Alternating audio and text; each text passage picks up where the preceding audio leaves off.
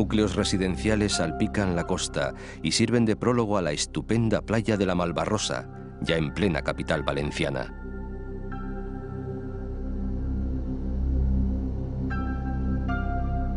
Vicente Blasco Ibáñez, que nació en Valencia y fue curiosamente escritor de gran éxito en vida, resumía las aspiraciones del buen valenciano. Si al nacer se encuentra el plato de arroz asegurado, la tartanita que ha de llevarle al mar o a la vega alborotando el camino con el cascabeleo escandaloso de la jaca y la casaca a la moda, considerará Valencia como el mejor de los mundos posibles.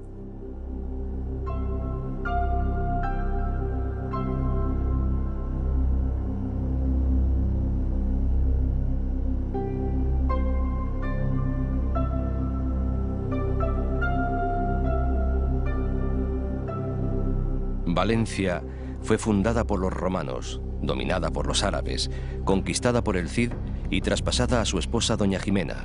Y Jaime I de Aragón, al conquistarla definitivamente, la proclamó nuevo reino cristiano. Pero fueron sin duda los árabes los que se recrearon en ella, perfeccionaron los sistemas de regadío introducidos por los romanos y enriquecieron la agricultura al traer el cultivo de frutos procedentes de Oriente el arroz, la caña de azúcar y la naranja, convirtiendo la ciudad del Turia en la capital de la zona oriental de Al-Ándalus.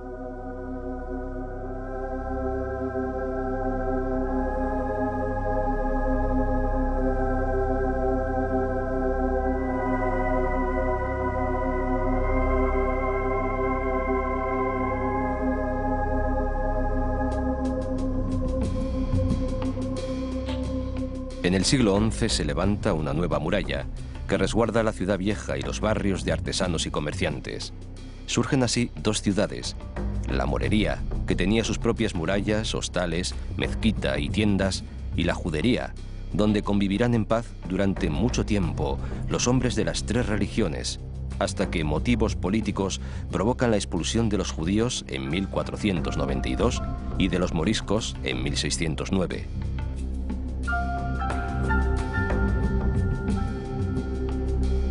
El sol y el mar Mediterráneo hacen de Valencia esa ciudad optimista, alegre, afable y obsequiosa, en palabras de Luis Vives, nacido aquí el mismo año del descubrimiento de América, quizás el intelectual valenciano más universal.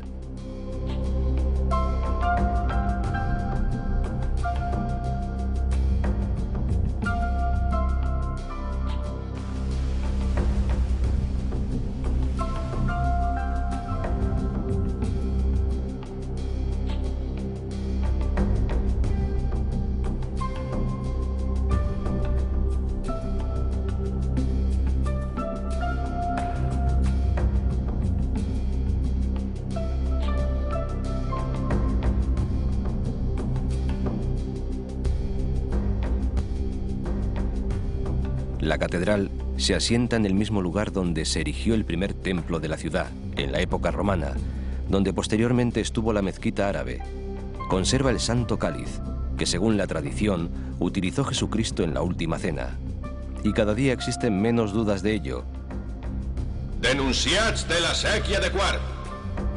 Continuando una milenaria tradición, el Tribunal de las Aguas se reúne todos los jueves ante la Puerta de los Apóstoles en la Plaza de la Virgen.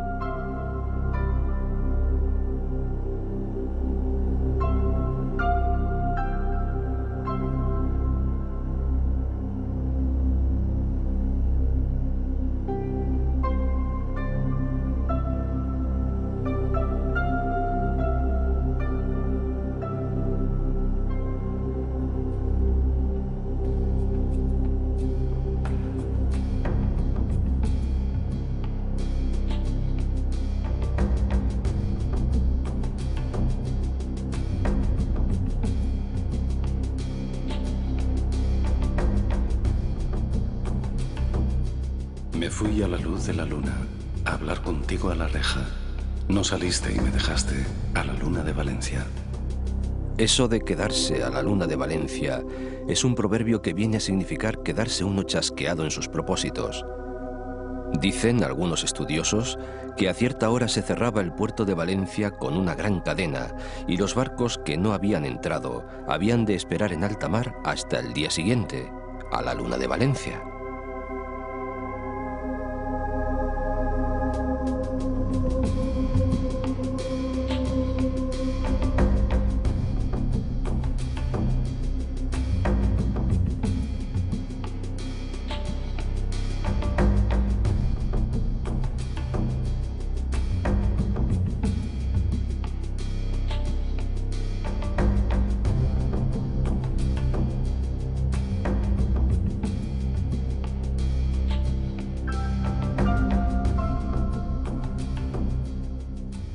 Ciudad anduvo, aunque algo forzadamente, Lope de Vega, que desterrado de la corte escribió su comedia La viuda valenciana. Lástima que no viera el alarde de imaginación que cada año derrochan los geniales creadores de esta tierra para festejar su gran fiesta de fuego, arte y humor.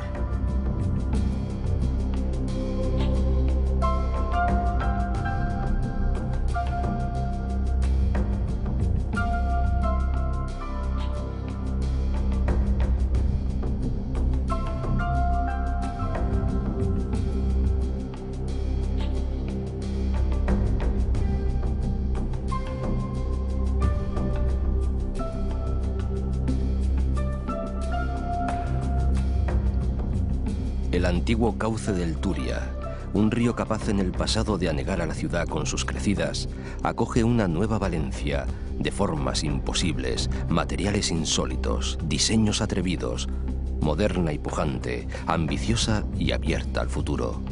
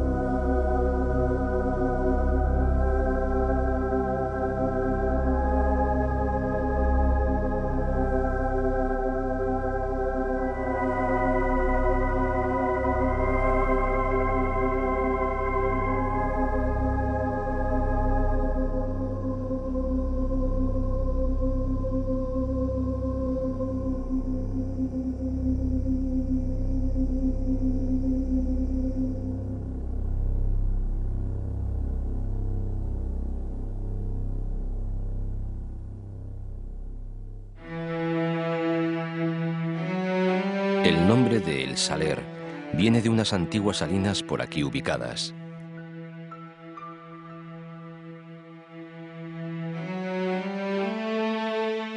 Plinio llamó a la albufera estanque ameno y Estrabón, el geógrafo e historiador griego, anota en su geografía. Es un lago marítimo tan grande que ha menester un día natural de andadura el hombre de a caballo que quisiera rodearlo todo. Los árabes la llamaron Buaira, pequeño mar. Y por aquí acamparon las tropas del rey Jaime I antes de entrar en la ciudad. La albufera fue el regalo que hizo el Cid campeador al emir de Zaragoza por su ayuda en la conquista de Valencia.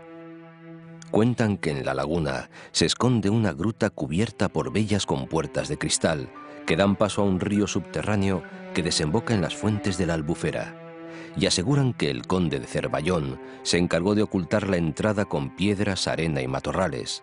También lo hizo que aún hoy en día nadie ha conseguido descubrir la entrada de tan valioso secreto.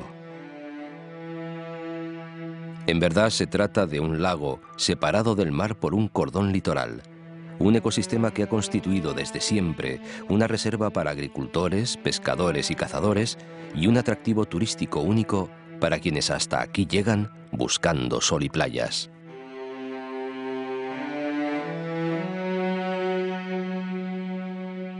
Aquí imaginó Blasco Ibáñez la historia de amores adúlteros que constituye su Cañas y Barro.